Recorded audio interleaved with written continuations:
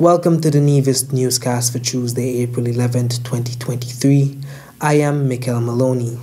The Nevis Health Promotion Unit is inviting the general public to the TDC Health Fair slated for Friday, April 15th. Teresa Herbert, Education and Prevention Officer at the Health Promotion Unit, provides the details. The Health Promotion Unit, in collaboration with TDC and Taiwan ICDF, will be hosting the TDC Health Fair this Friday, April 14th from 9 a.m. through 5 p.m.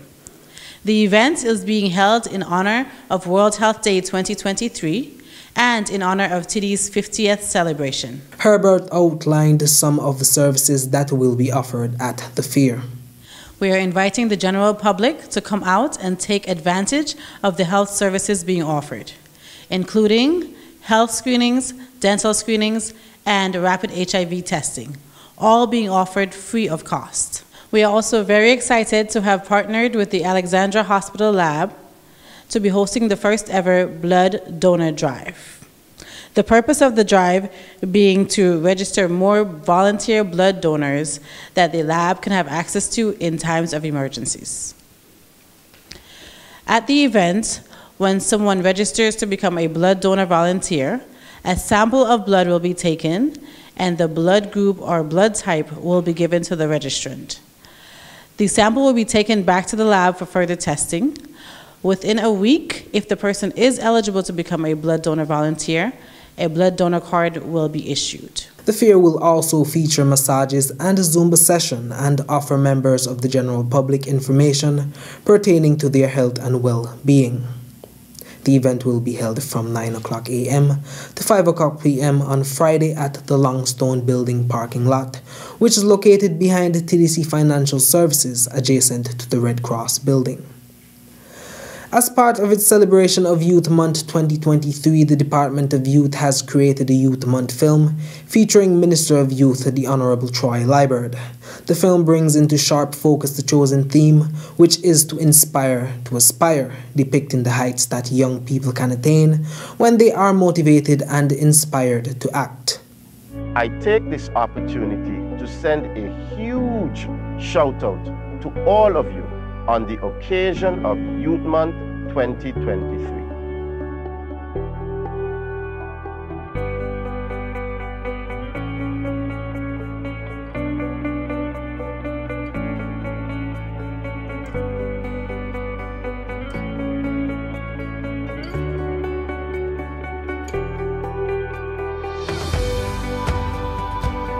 Youth Month was born out of the desire to focus on the achievements of our young people and increase opportunities intending to benefit our youthful population.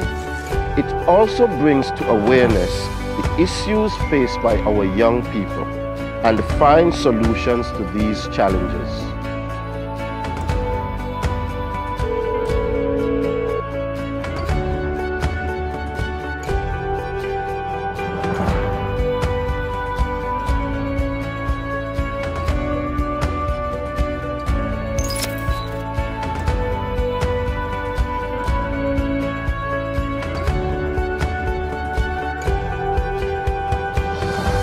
This year, young people are encouraged to take initiative by leading activities that will increase their level of productivity and growth. We are also mindful, however, that our young people are more motivated to act when they feel inspired. For this reason, this year's Youth Month theme is Inspire to Aspire.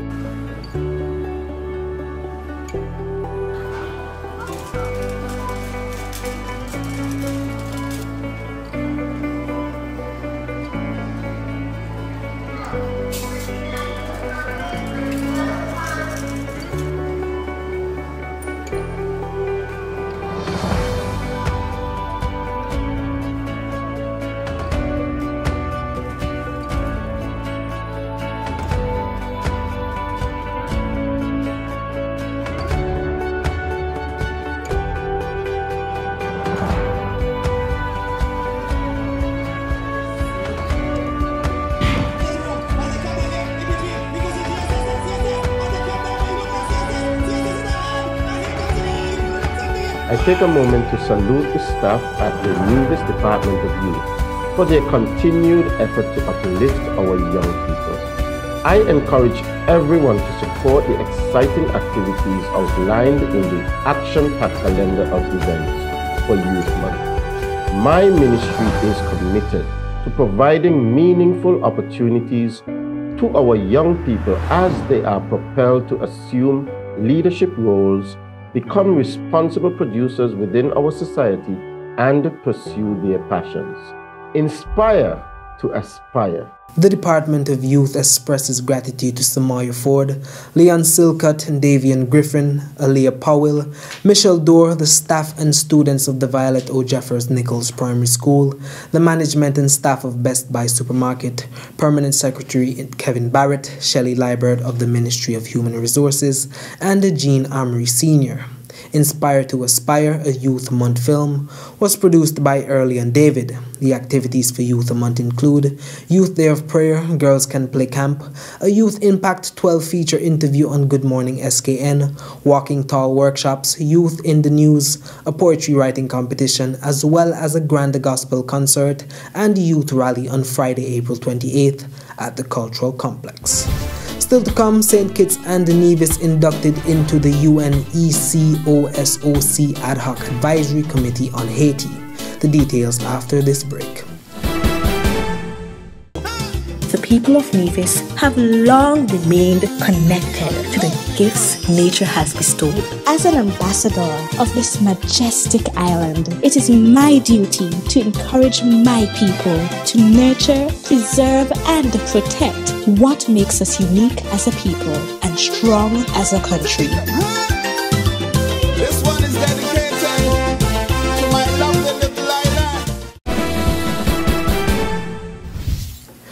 Welcome back. In further demonstration of St. Kitts and Nevis's commitment to the people of Haiti during this period of crisis, the government of St. Kitts and Nevis, through its permanent representative to the United Nations, Her Excellency Nerys Dockery, has joined the ad hoc advisory group on Haiti.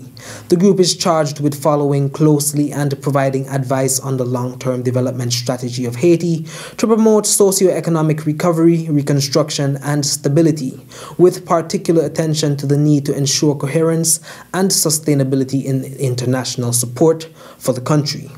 The government's request for membership was endorsed by the permanent representative of Haiti and supported by the permanent representative of Canada, chair of the ad hoc advisory group, who raised it during the plenary session of the United Nations Economic and Social Council on Wednesday, April 5th. The ad hoc advisory group is composed of the permanent representatives of Argentina, the Bahamas, Barbados, Belize, Benin, Brazil, Canada, Chile, Colombia, the Dominican Republic, El Salvador, France, Haiti, Kenya, Mexico, Peru, St. Vincent and the Grenadines, Spain, Trinidad and Tobago, the United States of America, and Uruguay to the United Nations. Ambassador Dockery says St. Kitts and Nevis being represented on this advisory group, the main committee mobilizing international action on the Haiti crisis, provides an opportunity to be in the room where critical decisions are being taken and to strengthen the group's efforts to address the humanitarian needs of the population, restore security and political stability, and devise a people-centered development pathway to reconstruction and good governance. St. Kitts and Nevis will work assiduously to help shape the parameters of international support in ways that put the interest of the people of Haiti first.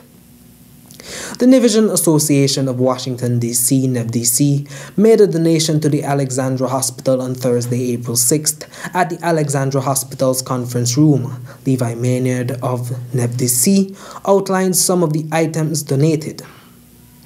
A few months ago, NEVDC embarked on an effort led by Mr. Lofton Sargent to secure medical equipment and supplies for Alexandria Hospital. Thanks to the generosity of the Russell Residence Assisted Living Home in Bowie, Maryland, who donated the equipment and supplies, NEVDC was able to package and ship several medical items to Nevis. Some of the items donated are four hospital beds, 10 wheelchairs, a triangular lift, five walkers, three IV stands, and several pallets containing a variety of hospital supplies. This is not the first donation of, to the hospital that NEVDC has made, and I'm confident that this will not be the last. So on behalf of the president of the Nevisian Association of Washington, D.C., Mr. Anthony Pemberton, and the entire NEVDC organization, I am delighted to officially present this donation of equipment and supplies to the Ministry of Health and Alexandria Hospital. Maynard then presented the items to the Minister of Health in the Nevis Island Administration, the Honorable Janelle Nisbet, who then expressed her gratitude to the association. On behalf of the Ministry of Health, and by extension the Alexandria Hospital, I would like to extend our sincerest gratitude for this donation. I know this would not have been the first donation of its kind from NEVDC, and so we appreciate the continued partnership and commitment to making sure that you keep contributing to the Nevisian public.